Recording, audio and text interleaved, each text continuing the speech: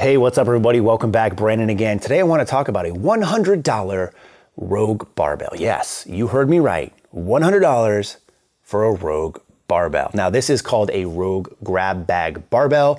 This particular one you see in front of you is an Ohio Power Bar version of that and I'm gonna try to give you a little bit of context to my knowledge of what a grab bag barbell is. This is something that Rogue started releasing a couple of months ago sporadically. They would release a very limited supply of certain types of barbells. I think it was like a Bella bar, an Ohio bar, and an Ohio Power Bar. And when I say limited quantities, I honestly think it was like four or five bars, maybe tops at a time. And they would do this every week or so or every five days, really depending on what you see. You had to be quick and it was hard to track because, again, the quantity was so limited that as soon as they came in stock, they were sold out within five minutes. And I can attest to this being an issue because it took me probably four or five times to actually check out successfully with this in my cart. I can't tell you how many times I had it in my cart. I thought I was good to go, clicked that payment button, and then it told me that my cart has been updated and items have been removed because they're out of stock.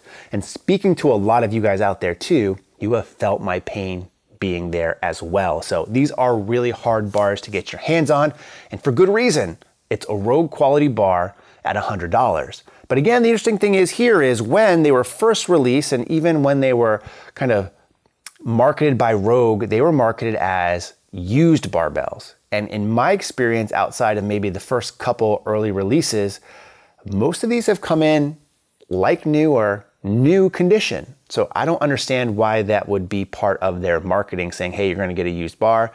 I initially thought when I saw this that it would mean that, hey, these are bars that are used in the Rogue facility for training purposes, maybe for marketing, video shoots, whatever, maybe from the games even that they just had laying around. They're going to get rid of them, clear them out.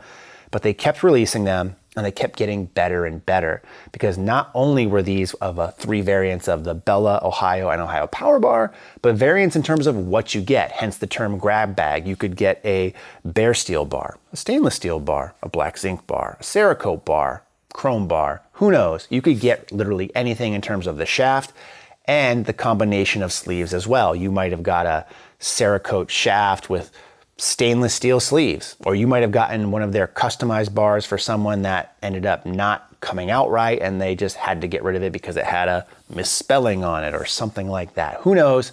These bars that I've seen have all been in really, really good shape, which brings another very interesting point up is if these bars are in such good shape, why are they only selling them for $100? Even though true, I see a point of if it's not a normally offered combination, and it's not the same bar that you would normally get at full price.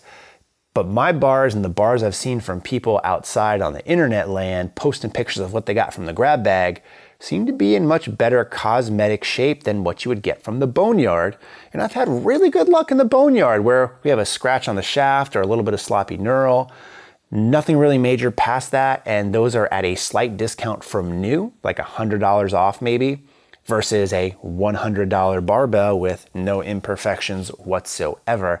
I really can't wrap my mind around it. And to add even further to the confusion, this bar ships with blank end caps, and that got my curiosity interested. So what did I do? I got my snap ring pliers, took off the end caps, flipped them around. Boneyard end caps. Hmm, even more interesting. Now, I have had blank end caps before on a boneyard bar that I've got, my squat bar from Rogue that had blank end caps. Flip those bad boys around, and those had like Rogue weightlifting bar end caps on it. I can't explain it, I don't understand it, but all I know is I got a fantastic bar right here, which appears to be a black zinc 20 kg Ohio Power Bar with bright zinc sleeves, which normally retails for $325 before shipping and tax for $100 before shipping and tax. And I've owned this exact same bar before and I liked it a lot. So to get this at a third of the price for normal is a great success. Now, it could be that maybe this is an E-coat variant. Uh, I don't really know. I asked around to people who have E-coat and black zinc to tell if they could really see what the difference is between the two, and no one really could.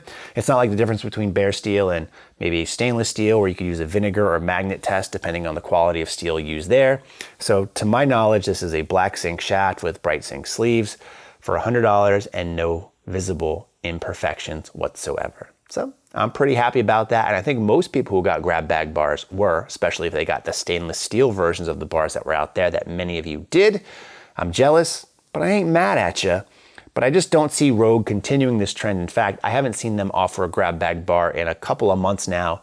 And I think part of that is because they realize that they could be selling these for a lot more money, which Rogue has been known to do in general, sell things for a lot more money, at least according to the comment sections on all the reviews of Rogue stuff I do.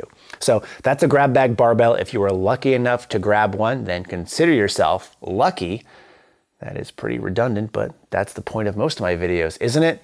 Uh, but if you see these again and have the opportunity to get one, definitely jump on it and buy it. Or if you're buying a used barbell online from somebody and you notice that it has blank end caps and they tell you it's a Rogue Ohio Power Bar and they're selling it for $500, just in the back of your mind, think to yourself that that might be a grab bag bar they got for 100 bucks. So Hope that you found that interesting. If you were lucky enough to get one, let me know what you got in the comments section below. Or if you have an idea of what this bar might be in front of me, leave that too.